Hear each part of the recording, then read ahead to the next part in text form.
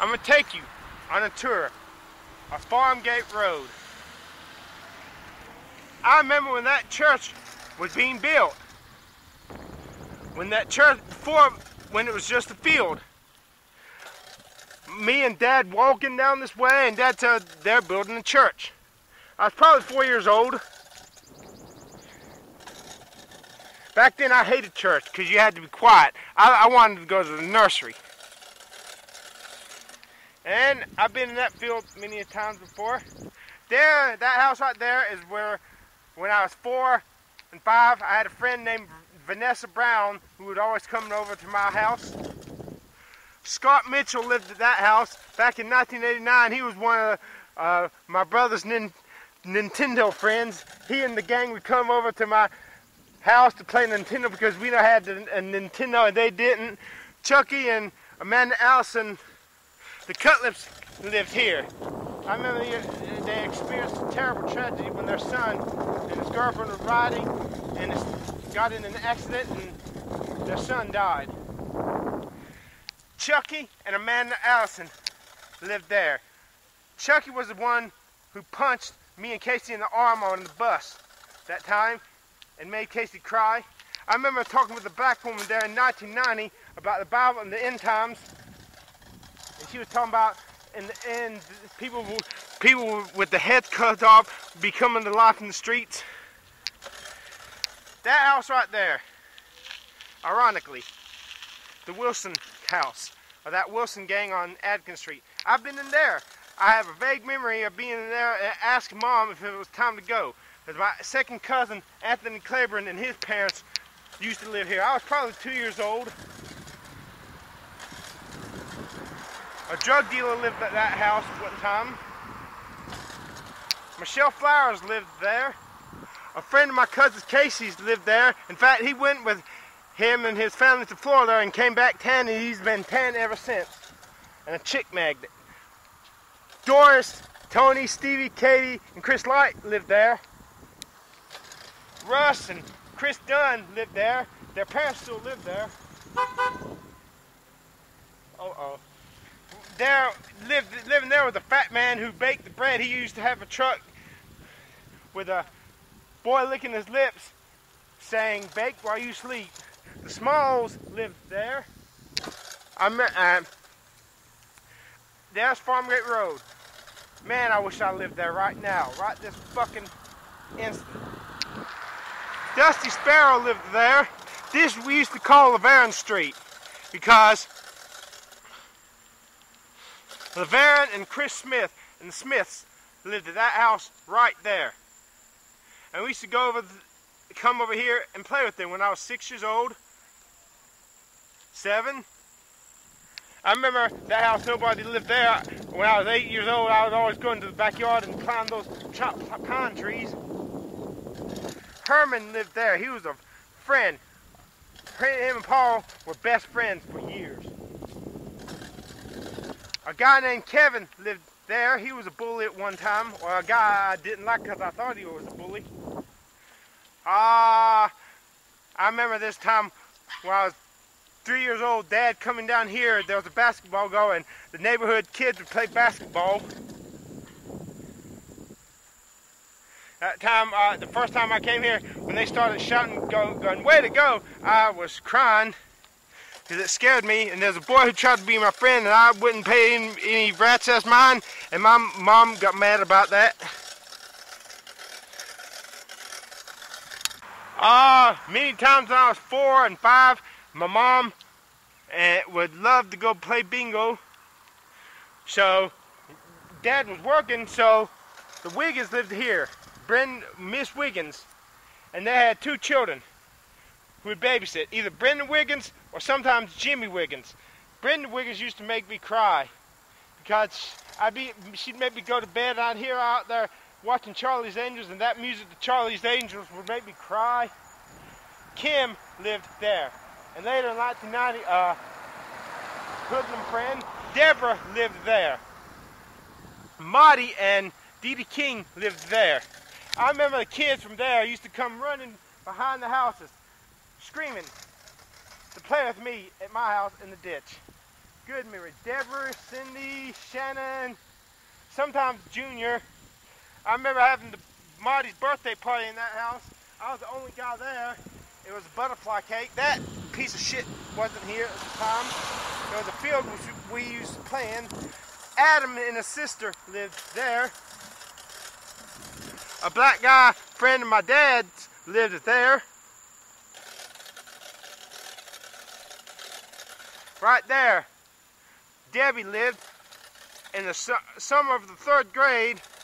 When third, uh, oh, in the third grade, she used to babysit us. I remember this road when it was being ex-built. Seeing this road from Farmgate Road, seeing the bulldozers plowing and making out this road. was innocent and her daughter Claire supported her. That would open up Claire Man, her arms are so well. long. She's got to hold family the elbows held way out. the story. to the sides. I wish my arms were long like that. Okay, you're in. You're on it now. Oh, right there, that house right there was a friend, a bully named Tommy. He was my cousin's friend, but later we became friends. Huh? Huh? I, I can. I can't. I can try to play basketball.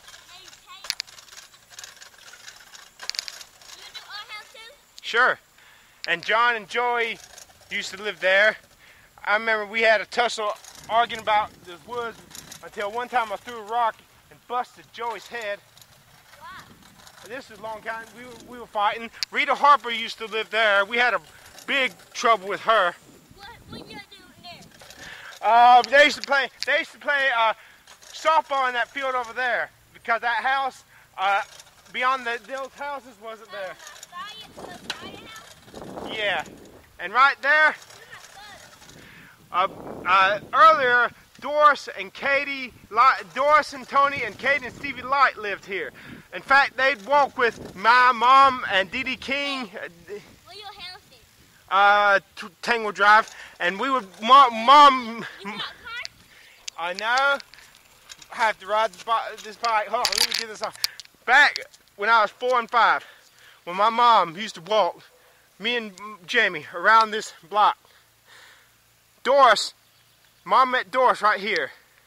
She met Dee Dee King right here, and they used to walk with us.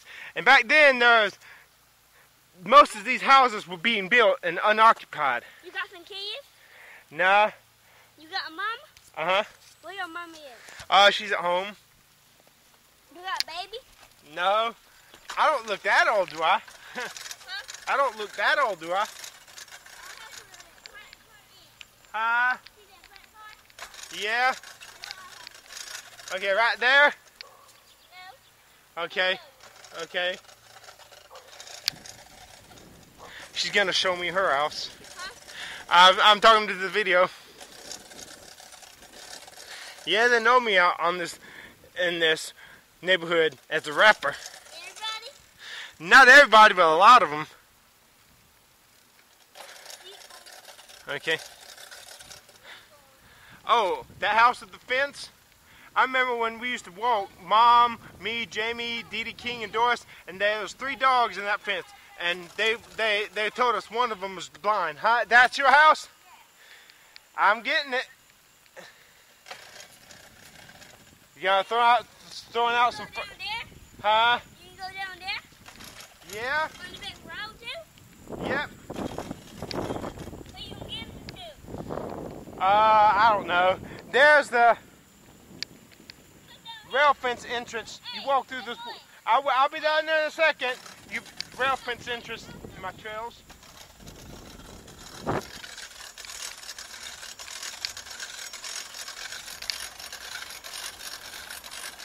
And we're coming up to the Manchester entrance to my trails.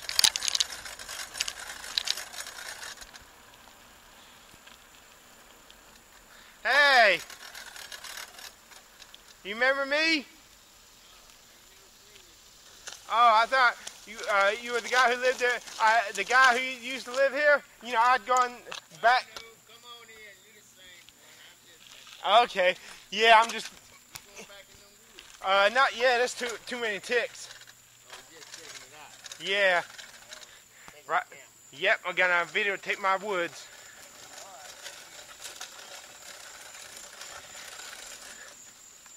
Right there. You see, he lets me park my bike, and when I had a car, he'd let me park my car. Right there. You take that little pathway, and you come out a third of the ways through my trails. Again, this is the rail fence entrance to my trails. Let me show you something. Man, these brakes are not, this bike ain't worth a fuck. You go through here, you take this path. Fuck. And by, and down, through the, uh, through there, past there, is where my trail begins. Is where I begin my, the first place I begin cutting after November 10th, 1994, after my grandma George passed away. When I was 12, I used to, this, these woods used to be, be my hideout. I used to, uh, that right there was just a field of weeds and a water hole, which I called the mini sub pond. I used to always wonder what was lay beyond the field on the other side of the mini sub pond. And in 1994, I was finally decided decided I was going to find out. Oh, in 1989, it had, uh, uh, February, it had grown into a war of briars uh, beyond the field on the opposite side of the water hole. And me and Casey blazed some trails through those briars. They were so cold and brittle after the ice storm. But by 1994, everything had grown up beyond the mini sub pond, and it was now a wall of pine trees. But as I cut through, begun cutting down the trail through those pine trees, I felt a whole new world opening up to me. Ah, I remember many a time walking around the block. Sometimes these houses right here were empty, being built. You could actually go inside of them, and there would be horseflies inside of them. And we would sometimes walk inside and look around in these houses. Me, my mom, Dee King, Marty, she used to walk with us too. She began trying to ride a bike and kept falling and getting scrapes. Had to get some red medicine applied to the scrapes. At that house there used to live my friend Jason Berg.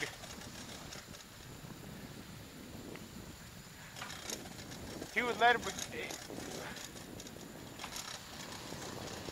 Now coming up, coming to Bianca Brewer's house. He's the guy who provided me this music right here for my song War in the City. After the, uh, what you call it, talent showcase on June 10th, 2000. He's the one who helped me as I was trying to break into the music business. There's his house, right there. Bianca Brewer, formerly the owner of Styles Entertainment until the he closed it down. It's kind of hard to start a record label here in the ass backwards North Carolina, the ass backwards area of the United States of America. Oh, there's a, another house we missed. Christian Allen Joe used to live there. Back there.